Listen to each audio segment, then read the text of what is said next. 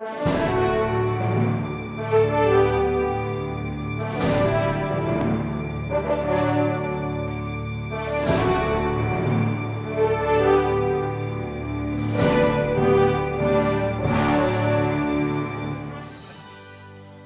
My name is Matt Adams. I'm the golf course superintendent here at Mount Airy Country Club.